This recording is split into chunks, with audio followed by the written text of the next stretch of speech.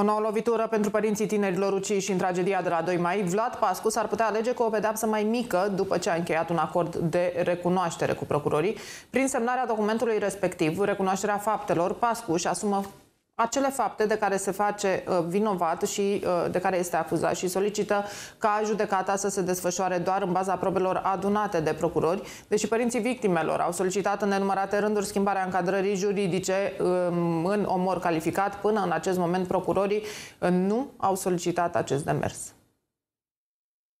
Decizia vine imediat după gafele și indiferența judecătoarei controversate Ancuța Popoviciu din dosarul 2 mai. Parchetul Mangalia a cerut o pedeapsă mai blândă pentru Vlad Pascu, care a omorât doi tineri după ce s-a urcat drogat la volanul mașinii. Un rol principal în acest dosar îl are procurorul de ședință care la începutul lunii aprilie s-a opus schimbării încadrării juridice a lui Vlad Pascu în omor calificat. Astfel, scenariu conform căruia șoferul drogat ar putea fi lăsat în libertate devine plauzibil după ce Vlad Pascu a încheiat acordul cu procurorii prin care acesta își recunoaște vina pentru uciderea celor doi studenți, Roberta și Sebastian. Prin semnarea acestui document, inculpatul își recunoaște faptele și își asumă tot ceea ce a fost scris în rechizitoriu. Totodată, acesta a cerut ca cercetările să se desfășoare în baza probelor adunate de procurori pe timpul urmăririi penale. Documentul i-ar putea reduce semnificativ pedeapsa, având în vedere că procurorii nu au cerut schimbarea încădrării juridice din ucidere din culpă în omor calificat, deși studenții răniți în accident și părinții celor doi tineri uciși au solicitat acest lucru. Atitudinea procurorilor și posibila reducerea sentinței lui Pascu îi revoltă pe părinții tinerilor care au cerut în repetate rânduri schimbarea încadrării juridice și implicit o pedapsă mai mare. În cazul în care judecătoarea din dosarul 2 mai ar fi fost suspendată, procesul ar fi fost reluat de la zero, lucru care l-ar fi dezavantajat pe Vlad Pascu și care i-ar fi putut aduce o pedapsă mai aspră. Ultimul termen în proces a fost programat pentru 23 mai, iar judecătoarea Ancuța Popoviciu a cerut să fie prezent în sala de judecată și Vlad Pascu.